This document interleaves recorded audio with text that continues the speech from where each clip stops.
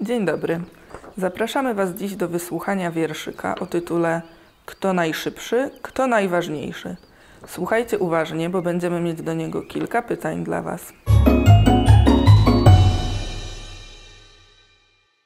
W pokoju na półce między zabawkami rozpycha się wielki samolot skrzydłami. Ja jestem najszybszy, ja latam po niebie, dlatego najwięcej miejsca chcę dla siebie. Odezwał się z kąta mały samochodzik.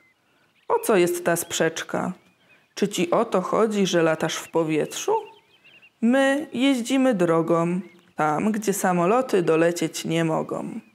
Ja także dość szybko mknę z pasażerami, powiedział autobus i mrugnął światłami. A statek zatrąbił. Co mi tam przestworza, gdy ja oceany przemierzam i morza? Pociąg użył gwizdka. No cóż, jestem stary. Jeżdżę wolno, ale mam najwięcej pary. Moich pięć wagonów rzędem grzecznie stoi.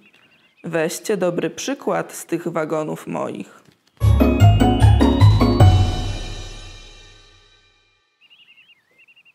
Mam nadzieję, że uważnie słuchaliście. Teraz zadam Wam kilka pytań. Jakie pojazdy występowały w wierszu? O co sprzeczały się pojazdy?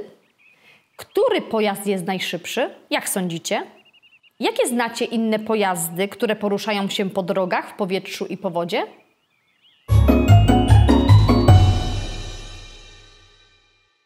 W ramach dzisiejszej karty pracy zapraszam Was do narysowania auta po śladzie po przerywanej linii.